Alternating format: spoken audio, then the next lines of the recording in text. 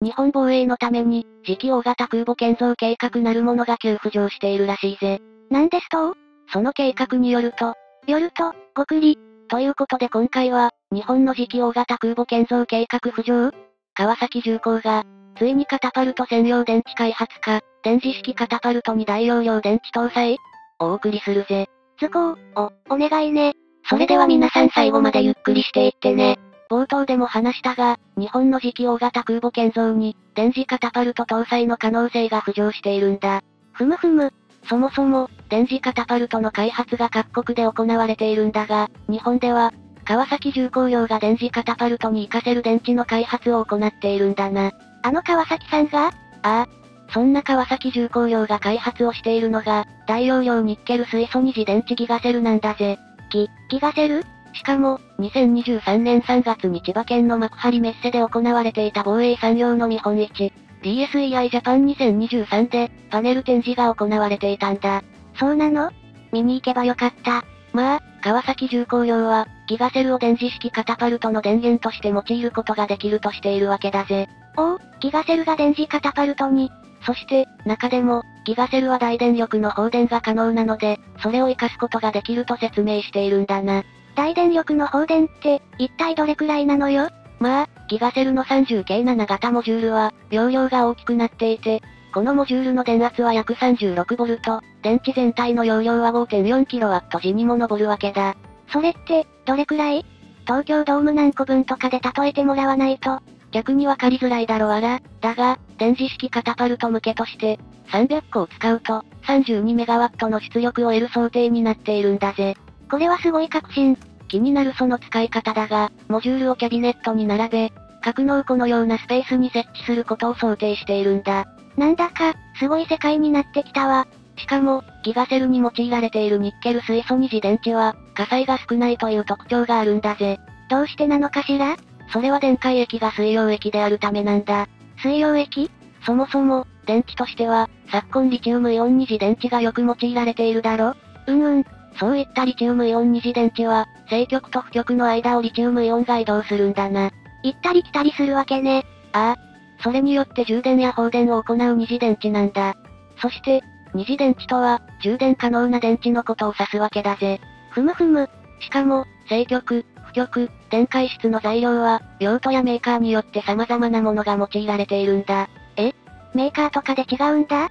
まあ、正極にリチウム繊維金属複合酸化物、極に炭素材料、電解質に、有機溶媒などの翡翠電解質を用いることが多くなっているがな。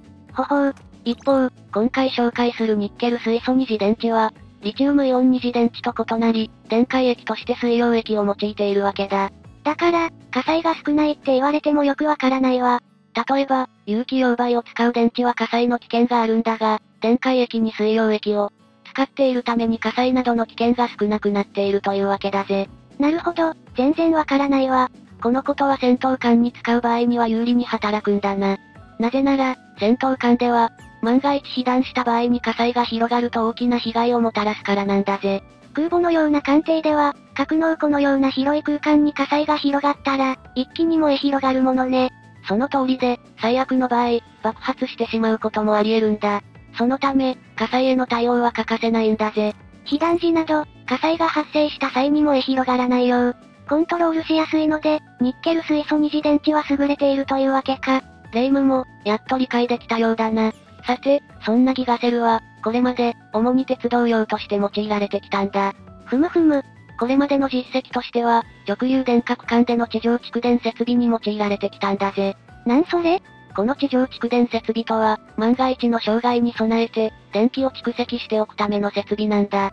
どうして、電気を貯めておくの？当たり前のことだが、電化路線では電気がないと電車を動かすことができないだろ確かに。また、停電などで長期間にわたって止まってしまう障害のニュースを聞いたことがある方も多いはずだ。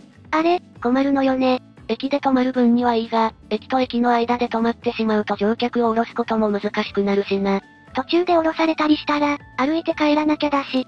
そのため、駅までの少しの区間だけでも電車を動かせるようにするために使われるのが蓄電設備というわけなんだぜ。なるほど。だから、この設備は河川電圧の低下を補ったり、停電時に電車を最寄り駅まで移動させるように電力を提供したりするわけだ。うんうん。また、電力の節約として、改正電力を受けることも可能なんだぜ。改正電力？これは列車がブレーキをかけた際などに発生する電力のことで、その改正電力を受け取ったりできるんだな。やるじゃん、日本の鉄道技術。まあ、その目的のために変電所などに設置されているんだぜ。そして、ギガセルの、モジュールを40個直列に接続すると、河川電圧の 1500V になるんだ。ピカチュウが40匹並んでるイメージね。それはそれで可愛いが、これを並列にして、計80個を1箇所に設置することで使っているんだぜ。ふむふむ。例えば、河川電圧が 750V の地下鉄では40個が使われているんだな。しかも、コンバーターを介さずに河川に直結して、動作させられるのも大きなメリットだぜ。それじゃ、この電池を使う先として想定されているのが、電磁カタパルトなの？その通りで、電磁カタパルトは空母などに搭載されるカタパルトの一種なわけだ。確か、カタパルトは、艦艇などから、航空機やうどんなどの麺類を射出するための装置よね？麺類は余計だが、カタパルトには火薬式、油圧式、空気式、蒸気式、電磁式といったものがあるんだぜ。どうして、カタパルトが必要なの？カタパルトを用いる最大の利点は、短距離での加速が可能になるということだぜ。ほほう例えば、地上の飛行場であれば、スペースの制限は、ほとんどないが、空母の場合は艦艇のサイズに左右されてしまうんだな。そうか。短い距離で航空機を飛ばさなくてはならないものね。だが、カタパルトを使えば、これを解決することができるわけだ。そして、現代の航空母艦では蒸気カタパルトが主流になっているんだぜ。カタパルトが主流だったなんて、知らなかったわ。また、蒸気カタパルトは、艦艇を推進するために搭載されているボイラーからの高圧水蒸気を用いるんだ。これを圧力タンクに溜めておき、航空機の発進時には、タンクからシリンダー内に入れるんだぜ。おお、科学の勉強みたいだわ。そして、その圧力を使って、内部のピストンを動かすんだ。ピストンはシャトルと一体になっていて、フライトデッキ上の溝に出ているシャトル頭部に航空機の全脚部をつないで強力な加速力を加える。そして、ドカーンと発射するわけね。そういうことだ。しかも、蒸気カタパルトは、油圧式より高速で作動し、他のカタパルトよりもはるかに重い航空機も運用可能なんだぜ。最強やんけ。また、心臓の空母は原子力推進のものが多いが、原子力空母は十分な蒸気を発生させられるため、カタパルト使用による速力低下は一切ないんだ。これが、原子力空母導入の理由なのね。そんなカタパルトの利点としては、カタパルト上にセットされている艦載機を、予備作業なしに即時発進させることができる点だ。ふむふむ。それに、カタパルトを搭載していない空母の場合、風上航行だけでなく、航空機の搭載量も減らさないといけないんだな。重量が重ければ重いほど、滑走距離が長く必要になるからね。ああ。だが、カタパルト搭載艦の場合には、最大重量で飛ばすことが可能なんだぜ。道理で、カタパルトが話題になるわけだわ。しかも、カタパルトを用いることでスペースを他の目的に使うことが可能なんだ。そうなの？そもそも、カタパルトと着艦時に用いるアレスティングワイヤーがあれば、発着艦のために必要なスペースを減らすことができるからな。つまり、発進と着陸を同時に行ったり、予備機の搭載スペースにすることも可能というわけね。そういうことだぜ。一方、重量の重い航空機を飛ばすことができるということは、それだけのエネルギーを必要とするということでもあるんだ。問題点が出てきたわね。そのため、発進時には過度の加速 G がかかってしまうんだぜ。また、蒸気式カタパルトの場合には出力の制御が困難となっているんだ。どうすんのよ。だから、大型の航空機以外は射出が難しいという問題があるんだな。昨今配備が進んでいるドローンの射出は難しいかもね。そんな中、蒸気式カタパルトに代わって開発が、進められているのが、電磁力を利用する電磁式カタパルトなんだぜ。確か、このカタパルトはアメリカや C 国で開発が進められているのよね？ああ。電磁式は、動作中の細かい制御が容易となっていて、重量の重い航空機でなくても運用が可能なんだ。おお、問題解決だわ。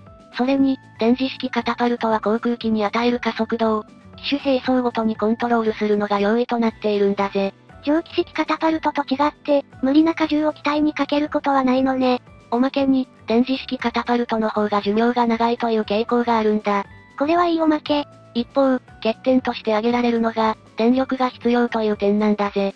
電力ね電磁式カタパルトは必要なエネルギー量が多いために、消費電力も莫大となっていて、アメリカではジェラルド・フォード級空母に搭載されているんだが、この空母は原子力空母のため、電力の問題は生じづらくなっているんだな。ほほう。しかし、原子力機関を用いている場合でも、発電機の性能が十分でなければ運用できないんだぜ。ええ原子力空母でもダメなの？だから、原子力機関ではなく、石油を用いる通常動力艦の場合には、さらに大きな問題が生じるはずだ。カタパルトを用いるために燃費が悪くなってしまうのね。それはつまり、補給回数が多くなってしまうという問題に発展するからな。燃料を気にしながら、作戦行動を行わなければならないんだ。